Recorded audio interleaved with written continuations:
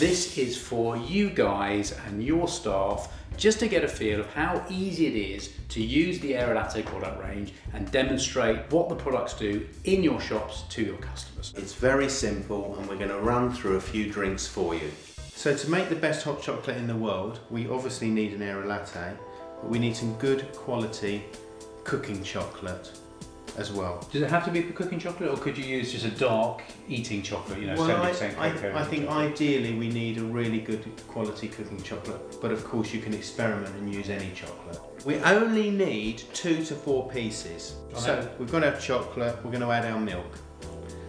No more than half a cup, like so. All we need to do, Gary, is heat it, but only heat it, don't boil it. Okay, well I have a, um, uh, a nuclear powered microwave in my kitchen, so it's probably only going to take a couple of seconds. Okay. Normally you'd be talking about 40, 50. Probably. As I say, just two seconds. There you go. Thank you, Gary. So now we have our warm milk and our melting chocolate at the bottom. I'm going to add my sugar to taste now because it's much nicer to whip with the Aerolatte the sugar with the chocolate with the milk. The chocolate itself melted in the milk in the microwave. Yeah.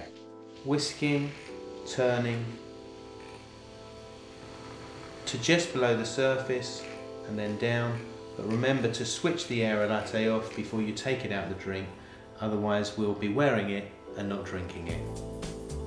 And that's why you're wearing the apron. That's why I'm wearing an apron. Very valid. Ready to go.